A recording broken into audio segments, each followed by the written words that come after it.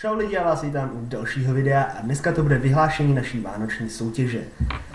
Losovat výherce budu klasicky přes stránky randomcommentpicker.com. Uh, už jsem si tady předem připravil to naše soutěžní video a máme tu přesně 439 soutěžních komentářů.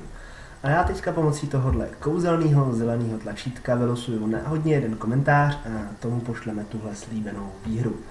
Chvilka napětí a naším výhercem se stává Matěj Hodes.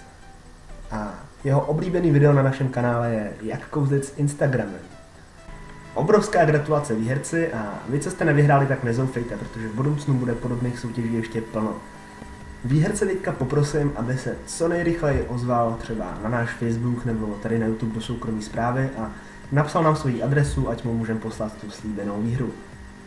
Tohle bude ode mě pro dnešek už asi všechno, takže pro více soutěží můžete dát palec nahoru a já se s vámi loučím. Naschle u dalšího videa.